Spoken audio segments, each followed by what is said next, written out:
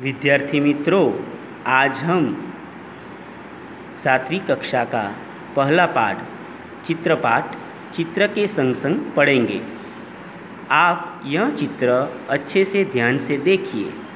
इस चित्र को आप अपने मन में और ध्यान लगा के उसका अनुमान कीजिए। आप देखेंगे कि रोड पर कौन कौन से यातायात के साधन जा रहे हैं।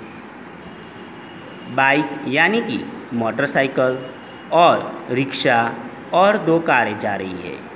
एक कुत्ता रास्ते में लेटा हुआ है, सड़क पर मोची अपने औज़ार लेके बैठा है। उसे ग्राहक का इंतज़ार है। साइकिल की दुकान वाला साइकिल के टायर में पंप से हवा भर रहा है।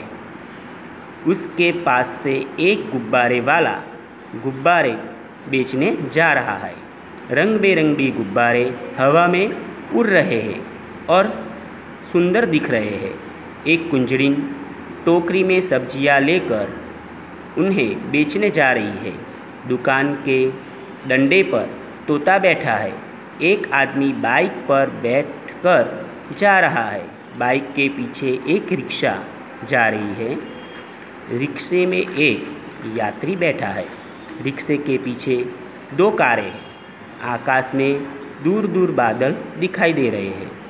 पक्षी आकाश में उड़ रहे हैं। अब हम दूसरा चित्र देखेंगे। दूसरे चित्र में क्या क्या हो रहा है, आप अपने मन में सब अनुमान कीजिए। बाद में आपको मैं बताता हूँ। Thank you